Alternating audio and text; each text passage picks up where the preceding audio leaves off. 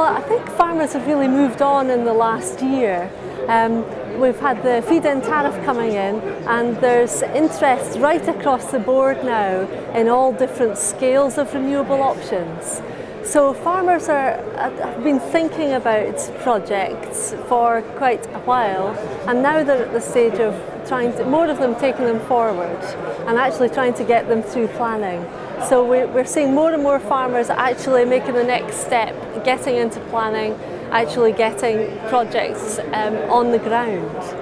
They've nearly all done a bit of research and they come along and they maybe want to talk about a wind turbine or they want to talk about a biomass heating system. But when we actually get into the broader discussion, there either there are other possibilities for them that they hadn't conceived of, or there's the scope to join technologies together, something that's producing electricity and something that's producing heat but needs electric, a power source of some sort. Well, we've had uh, wind developers out there still looking for sites uh, for, for new, new turbines. Um, we've also had anaerobic digestion has come up as an issue. Um, question of how to get finance for that.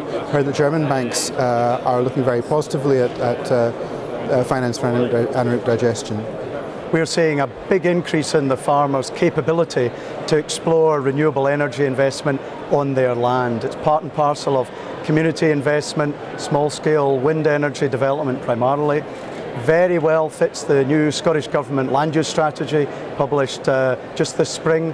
And so aspects of exploiting land, community consultation and investment in small-scale renewables. And it looks as though that's delivering part of the objectives of both public and private sector.